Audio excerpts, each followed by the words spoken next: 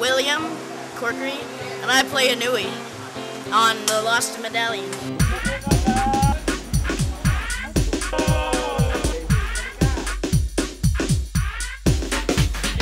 Behind the scenes. Well, Anui is an islander, and he's really loyal to uh, Huko, and he follows Huko on this adventure. Anui saves his life and gets him into trouble, so I don't know if he's good or bad to have on ship, so I think Anui is just happy-go-lucky and oblivious to all the danger around him. Unless he's scared, then he's like in his head, but usually, usually he just wants some fruit to eat.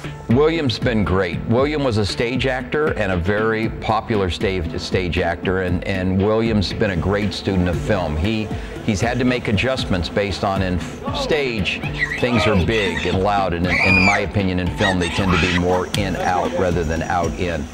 And William has worked very very hard to create a character in Anui that comes off as organic and true. Without having had a lot of experience in film, he had to make those adjustments in a very short window and has done a masterful job of doing that. And to play believable is, is a tough thing to do, and, and William's done that. And I really appreciate his hard work in that journey. Cut. Cut. Oh, William's so cool. He's my he's my brother now. he's just so much fun to work with. He's uh, wiser and uh, he's uh, somebody that I look up to. No, I'm just kidding.